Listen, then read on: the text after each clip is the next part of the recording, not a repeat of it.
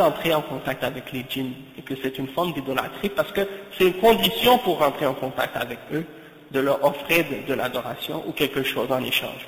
Et ça, c'est pourquoi nous, on considère toutes ces choses-là comme la magie, l'astrologie, euh, la voyance, toutes ces choses-là comme des formes d'idolâtrie, la sorcellerie et tout ça. C'est des choses qui existent, elles sont vraies, sauf qu'elles sont toutes interdites. D'accord? Et Dieu les a interdits clairement. Même si certains parmi les hommes l'utilisent ou ils le pratiquent, hein, même si c'est pas pour faire de mauvaises choses. Certains vont dire, ouais, il y en a qui le font, le pour le bien, il y en a qui le font pour le mal. Même si tu l'utilises pour le bien, du moment que tu offres à, à autre que Dieu une forme d'adoration, tu deviens un idolâtre, tu sors de la foi. Donc ça, c'est quelque chose qui est très important à comprendre. Donc, euh, ça, c'est, disons, un des principes et une des aspects fondamentaux du message de l'islam qu'on vous a expliqué aujourd'hui. On n'est pas rentré encore dans les détails de la pratique religieuse, puis les, différents, les différents aspects, mais quand même, on a fait le tour des principes de base de la foi, en ce qui concerne la foi en Dieu, des choses comme ça. J'ai pas expliqué les six piliers de la foi encore. C'est-à-dire, les six piliers de la foi, c'est quoi? Le premier, c'est la foi en Dieu. On en a parlé. Après, c'est la foi en les anges. Il hein, faut croire que les anges existent. On a parlé des djinns, mais ça, ça rentre dans les six piliers. Euh, après les anges, il y a les prophètes. Il faut croire aux, prophètes. Ensuite, il faut croire aux livres sacrés que Dieu a révélés, la Torah, l'Évangile et le Coran. Ensuite, il faut croire en le jour dernier, c'est-à-dire le paradis, l'enfer, le jugement dernier, toutes ces choses-là, on va tous être ressuscités, puis tous être jugés. Et euh, ensuite, il y a le dernier pilier de la foi qui est la foi en la prédestination, que Dieu a tout écrit, il a, su tout ce qui va se produire à l'avenir, il, a tout écrit, et tout ce qui se produit dans l'univers c'est selon sa volonté, et il a tout créé. D'accord? Donc ça, c'est les six piliers de la foi. Puis, il y a peut-être un autre point qui est important de comprendre, c'est par rapport à euh, l'islam, c'est que nous les musulmans, donc euh, qu'est-ce qui nous distingue aussi de, des messages des autres prophètes qui sont venus avant, c'est que croit au dernier des prophètes, qui est le prophète Mohammed, paix et salut sur lui, et en, son, en le Coran aussi. Et euh, en, pour vous expliquer un petit peu qui était le prophète, c'est que le prophète Mohammed est un des descendants d'Abraham par son fils Ismaël, qui vivait dans la région de l'Arabie. Et euh, il y a de cela 1429 ans environ, il est né, euh, non, peut-être 1400, euh, il, est devenu prophète à 40 ans, donc, ouais, plus, oui, c'est ça. Donc, il est, il est né dans les années 1400 quelque chose, ou 1300 quelque chose, vers la fin de 1300. Et il a commencé premièrement, euh, au début, bien entendu, c'est à 40 ans qu'il est devenu prophète. Et il est né parmi euh, les Arabes, une, des tribus des Arabes, qui était la tribu la plus noble, la tribu de Quraysh, qui vivait à la Mecque. Et la Mecque, je ne sais pas si on n'a pas de photo ici malheureusement, mais il y a, à la Mecque, c'est un des terres saintes, un des lieux saints de l'islam, on appelle, on appelle ça Mecca en arabe.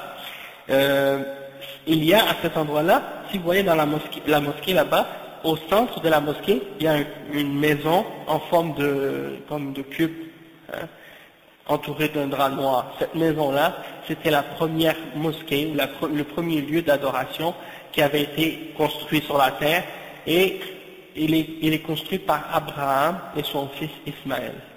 Et donc, c'est à cet endroit-là que cette, cette maison-là, est construite.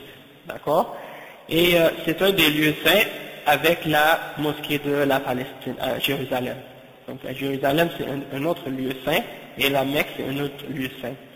Donc il est, il est né là-bas. À l'époque d'Abraham, cette mosquée a été construite pour l'adoration du Dieu unique. Il n'y avait pas d'idole, il n'y avait rien, c'était Dieu seul qu'on adorait là-bas.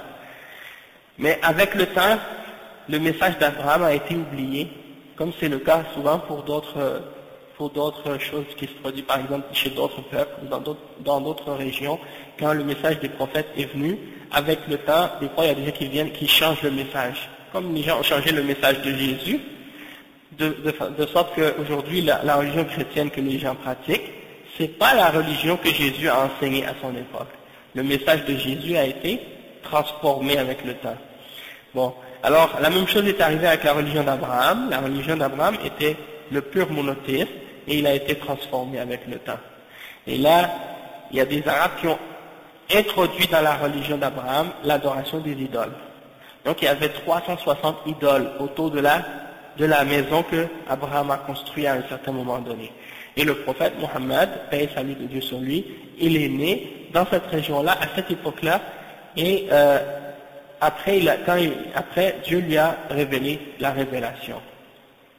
Et il lui a ordonné d'ordonner aux hommes d'adorer Dieu seul et d'abandonner l'idolâtrie, d'abandonner l'adoration des idoles et des statues et des choses comme ça. Donc au tout début, il a commencé à expliquer ça à son peuple et les Arabes n'ont rien voulu savoir de lui. Ils l'ont persécuté, ils l'ont chassé, et ceux qui ont cru en lui au tout début, c'était des esclaves, des gens euh, simples de la société qui ont commencé à le suivre, mais au début, il n'avait aucune, aucune autorité, aucun pouvoir, aucune force euh, pour, soi-disant, euh, se protéger ou protéger les gens qui ont cru en son message. Donc, il se faisait persécuter, il se faisait euh, souvent maltraiter. Il cherchait quelqu'un qui allait le défendre pour continuer la propagation de son message, l'islam. Et qu'est-ce qui est arrivé, c'est que avec le donc avec la persécution, ils, sont partis, euh, certains des, compagnons sont partis en Éthiopie pendant quelque temps pour que la pression soit moins dure, moins forte, parce que là-bas, il y avait un roi qui était plus pacifiste ou plus euh, ouvert. Ils sont restés là-bas un certain temps, puis à un certain moment donné, la pression était tellement dure sur le prophète à, la Mecque qu'ils ont même essayé de, de le tuer. Ils ont même voulu le tuer. Alors, là, Dieu a ordonné au prophète Mohammed de quitter la Mecque et d'aller à une autre ville, qui est la ville de Médine. Et à cette ville-là, il y a des gens qui ont commencé à accepter le message de l'islam et qui ont vraiment commencé à donner un support au prophète. Donc là, ça veut dire qu'à partir de ce moment-là, le message de l'islam et les musulmans ont commencé à être de plus en plus forts. Et euh, là, il est arrivé beaucoup de choses par la suite. Des gens ont commencé à rentrer dans l'islam de plus en plus. Et jusqu'à ce que, par la suite, euh, le prophète est retourné à la Mecque avec une armée et il est, il est rentré à la Mecque et qu'est-ce qu'il a fait? Il a détruit toutes les idoles qui étaient autour, autour de la Kaaba. Il les a détruites toutes, une par une, avec, son, avec un bâton. Et il récitait les paroles que Dieu lui a révélées en, en faisant ça.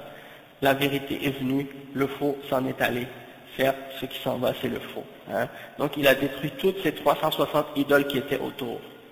Hein. Et donc, ça c'est pour dire que le message du messager, euh, c'était fondamentalement d'expliquer aux êtres humains qu'ils ont été créés pour adorer Dieu et que tout ce qui est adoré en dehors de Dieu par les êtres humains, c'est quelque chose qui est faux et c'est de l'idolâtrie et donc euh, il ne faut pas l'adorer, il faut s'écarter de, l'idolâtrie et des, messages euh, des hommes qui appellent à, l'idolâtrie ou à adorer d'autres que Dieu. Donc, euh, qu'est-ce que je vous ai expliqué? Là C'est un petit résumé, hein, parce que, en fait, le message du prophète sallam, il a duré 13 ans à la Mecque, après qu'il soit devenu prophète, et 10 ans à Médine.